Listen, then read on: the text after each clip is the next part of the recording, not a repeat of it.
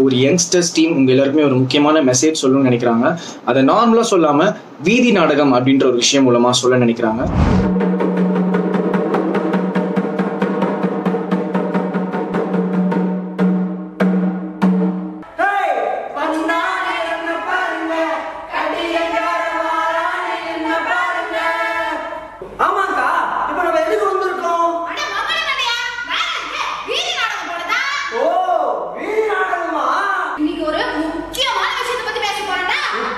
விஷயமா அது என்னக்கா? அட இந்த 2020 லாக்டவுன்ல நம்ம எல்லாரும் புரட்டி போட்ட ஒரு விஷயத்தை பத்தி தான் பேச போறோம். கொடுக்குற வீடியோ பார்த்தா. வேற லெவல்ல இருக்கும் போலயே.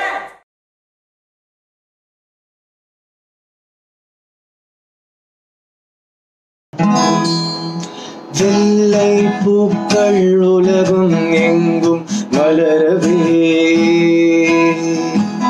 விரியம் பூமி அமைதிக்காக விடிகவே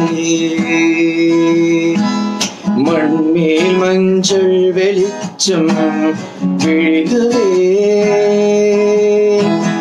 மலரே சோம்பல் முறித்து விழிகவே. குழந்தை விழிக்கட்டுமே தாயின் கதகதப்பில் உலகம் மட்டுமே. பிள்ளையின் சிறு முதல் சிரிப்பில் வெள்ளை பூக்கள் உலகம் ஆகும் மலரவே. பிரியும் பூமி அமைதிக்காக பிடிகவே எல்லாருக்கும் வணக்கம். இப்ப எல்லாமே நம்ம மோஸ்ட்லி என்டர்டெயின்மெண்ட் அப்படின்ற ஒரு விஷயத்துக்கு தான் நம்ம முக்கியத்துவம் கொடுக்குறோம். ஆனா அப்படி இல்லாம ஒரு யங்ஸ்டர்ஸ் டீம் உங்க எல்லாருக்குமே ஒரு முக்கியமான மெசேஜ் சொல்லணும்னு நினைக்கிறாங்க. அதை நார்மலா சொல்லாம வீதி நாடகம் அப்படின்ற ஒரு விஷயம் மூலமா சொல்ல நினைக்கிறாங்க. இந்த வீதி நாடகம் கலைஞர்களுக்கும் இவங்க சொல்ற அந்த மெசேஜுக்கும் நம்ம கண்டிப்பா ஒரு இம்பார்ட்டன்ஸ் கொடுத்தே ஆகணும். ஸோ இந்த வீடியோவை மிஸ் பண்ணாம கடைசி வரைக்கும் பாருங்க. ஹாப்பி ஃபுட் டே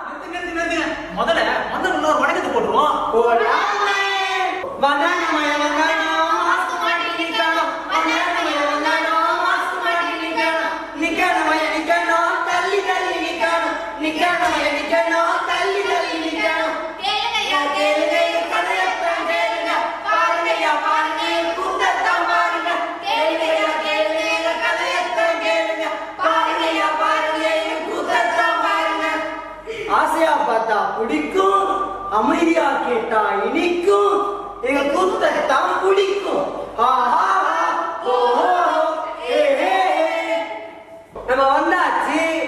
வணக்கத்தையும் போட்டாச்சு. நம்ம எதை பத்தி பேச போறோம்? இன்னைக்கு ஒரு முக்கியமான விஷயத்தை பத்தி பேச போறேன்டா முக்கியமான விஷயமா? அது என்னக்கா? இந்த 2020 லாக்டவுன்ல நம்ம எல்லாரும் புரட்டி போட்ட ஒரு விஷயத்தை பத்தி தான் பேச போறோம். கொடுக்குற வீடியோ பார்த்தா வேற லெவல்ல இருக்கும் போலயே. இந்த விஷயத்தை பத்தி பேசணும்னா நமக்கு ஒரு நாள் பத்தாதா ஐயோ ஒரு நாள் ஆகுமா? அக்கா அக்கா இப்ப லைட்டா பசிக்குது.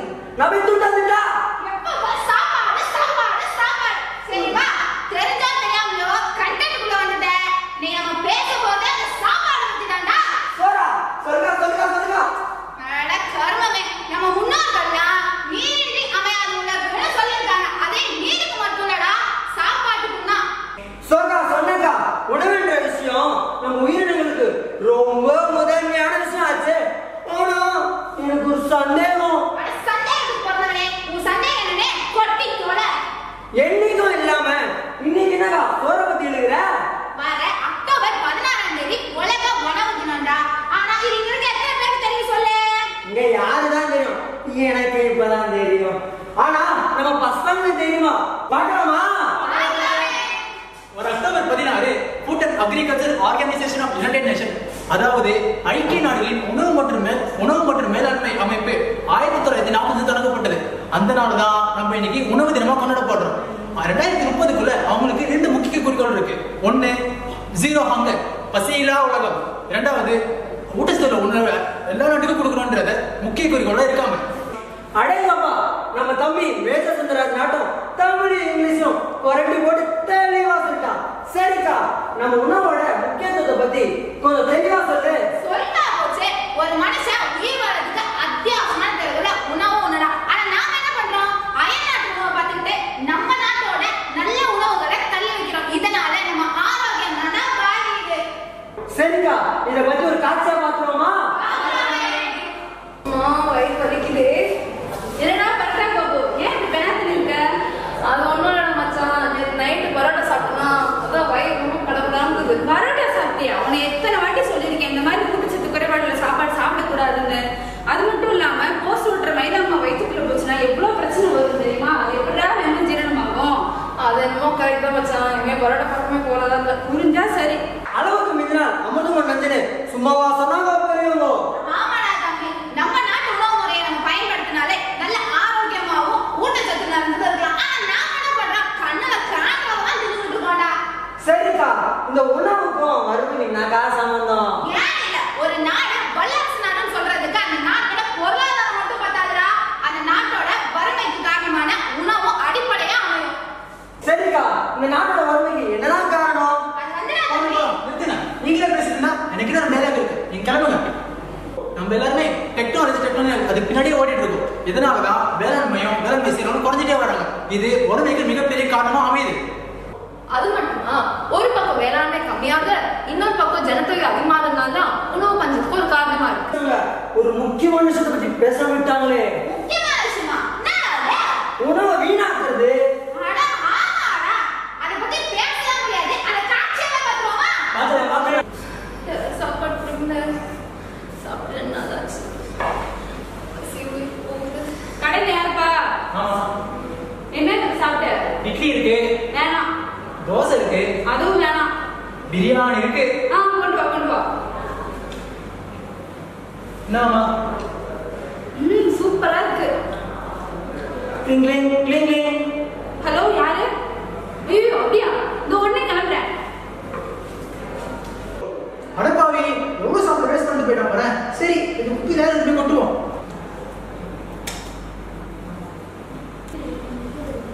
ஐயோ சாப்பாடு சாப்பாடு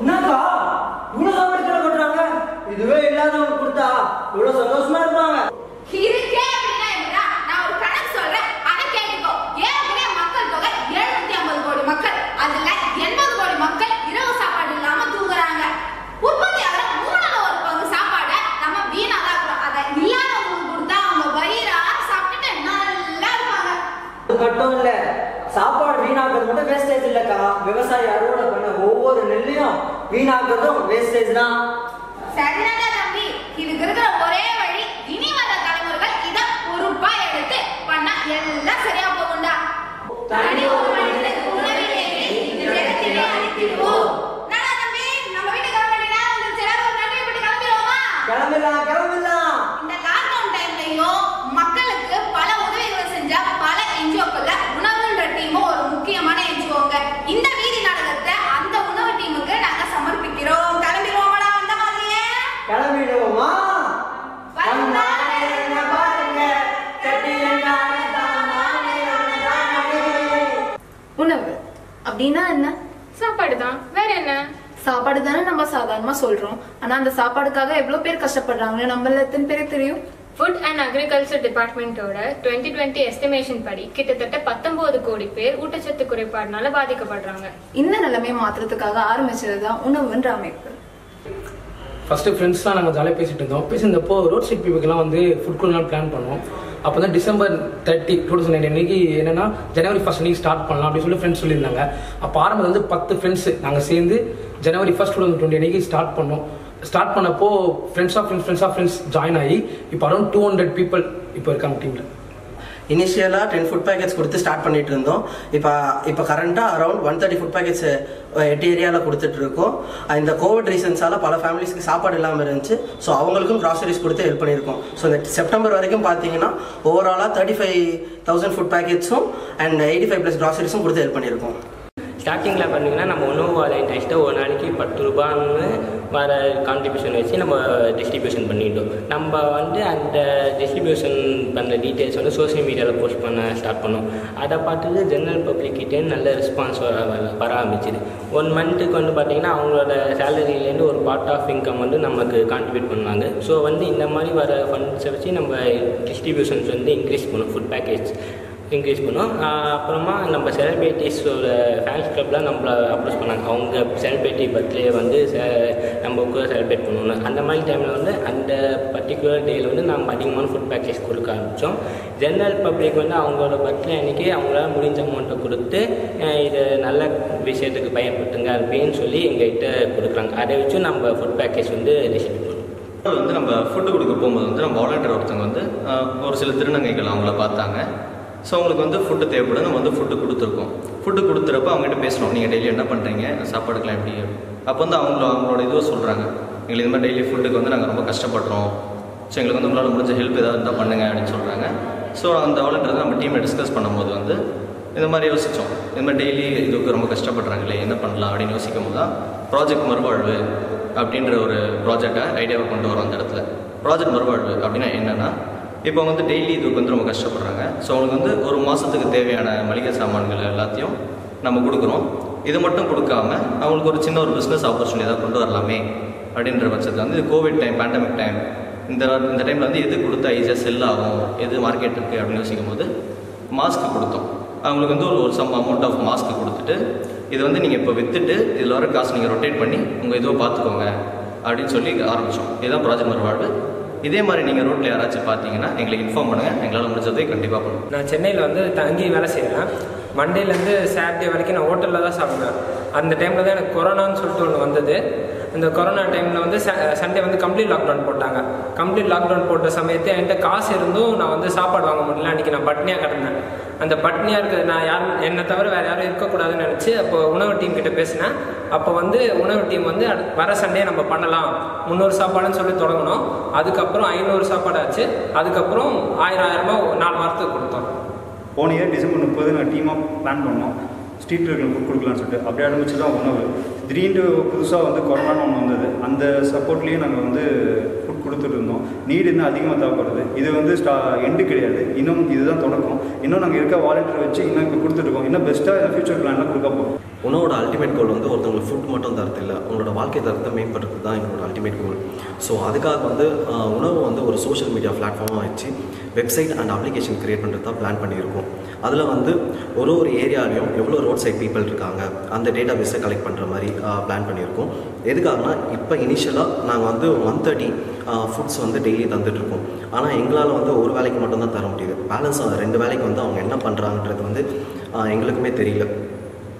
ஸோ அதுக்காக வந்து ஒரு ஒரு ஏரியா இப்போ அண்ணா நகர் எடுத்துட்டிங்கன்னா அங்கே வந்து எவ்வளோ ரோட் சைட் பீப்புள் இருக்காங்க அவங்க என்ன கேட்டகரி மென்டலி ரிட்டர்டடாக எல் ஓல்டேஜ் பீப்புளாக இல்லை வந்து பிளைண்டாக ஃபிசிக்கலி சேலஞ்சடாக அந்த கேட்டகரி வச்சு இது பண்ணலாம். அவங்களுக்கு பேலன்ஸ் வந்து ரெண்டு வேலைக்கு வந்து என்ன எப்படி ஃபுட்டு கிடைக்கிறது எவ்வளோ நாளாக இங்கே இருக்காங்க அந்த டேட்டா பேஸ் அப்லோட் பண்ணோன்னா பப்ளிக் வந்து நம்மளோட வெப்சைட் இல்லை அப்ளிகேஷனில் பார்த்தாங்கன்னா அவங்களுக்கு தெரியும் அவங்களோட ஏரியாவில் வந்து எவ்வளோ பேர் இருக்காங்க. இன்கேஸ் அவங்க வந்து எம்ப்ளாய்மெண்ட் ஆப்பர்ச்சுனிட்டியும் தரலாம்.